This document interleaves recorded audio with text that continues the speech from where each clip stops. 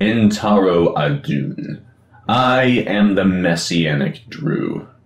In the old days, the mighty Protoss stood united.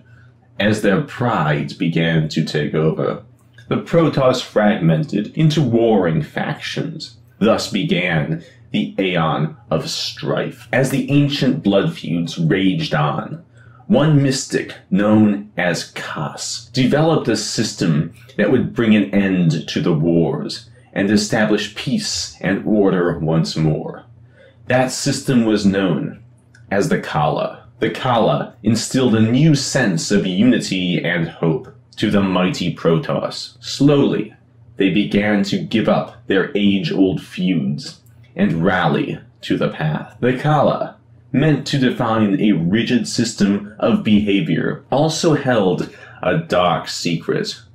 There were tribes who refused to embrace the Khala, believing that their individual identities would be erased to promote the rule of the Judicator caste.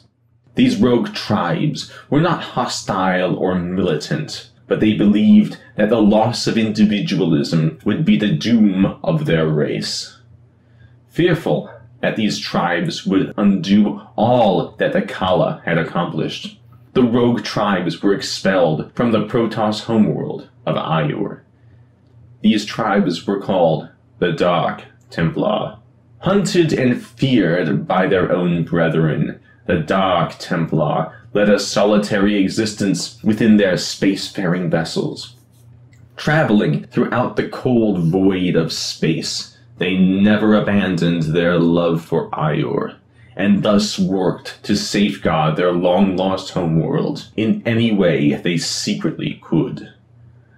The tale of the Dark Templar is also the tale of Messianic Jews, a group that for nearly two millennia believed in Yeshua HaMashiach, often in secret, and yet refused to give up their identity as Jews.